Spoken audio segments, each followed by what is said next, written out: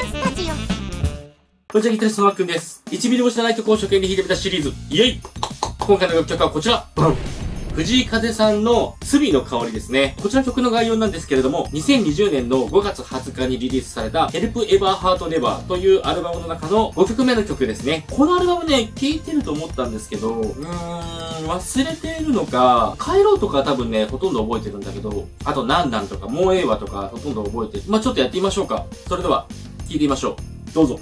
バカンスタジオ。何これ？いやちょっと待ってこれ何これ？どんな始まり方よ？すごい始まり方やなこれ。何4分ですよこれ。さあちょっと始めていきましょうか。令和の天才藤井風さん。杉野香織という楽曲ですね。確かになんかちょっと犯罪集のするフレーズでしたね今の感じね悪いことしたようなあのね、マイナーキーの曲ね、すごく苦手なんですよね、僕。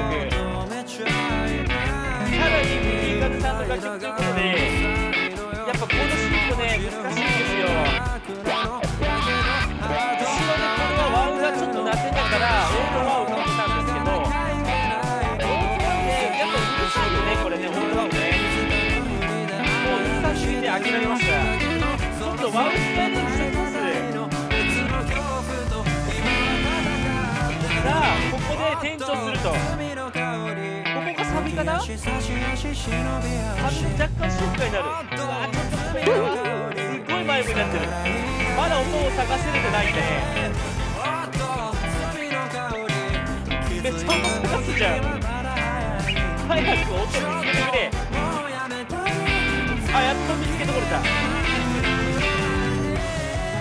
はいこれイントロに戻りました。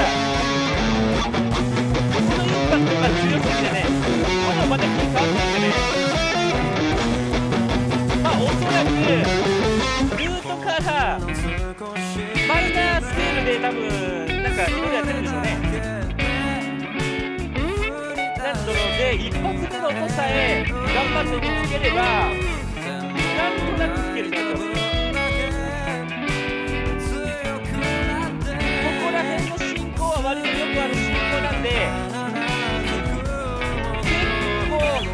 早いですねあの切り取るのが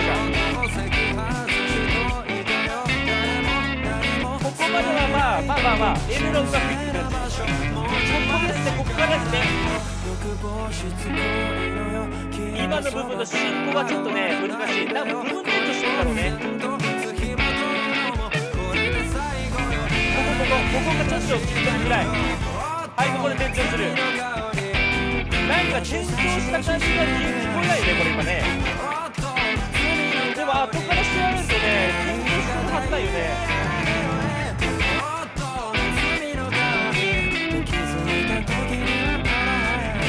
うんまあサビも取れてるね。1回取れてるから大丈夫です。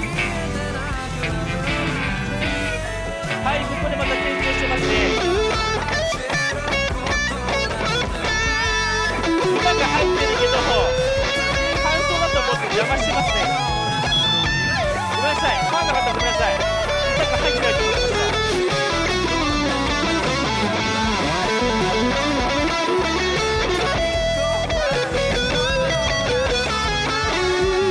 はいここでイントロ取れましたね。なんとなく音は持ってる。何分になりました。あ最後飛びした。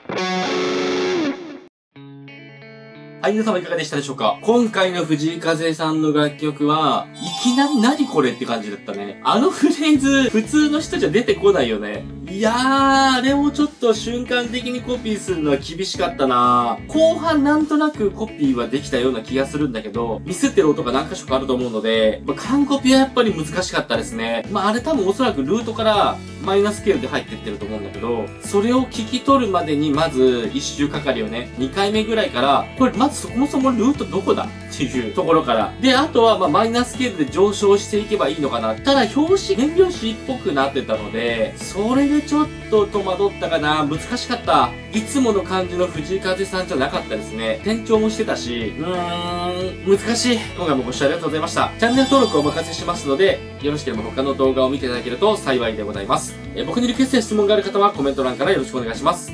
それではまた次回の動画で会いましょう。バイバイ。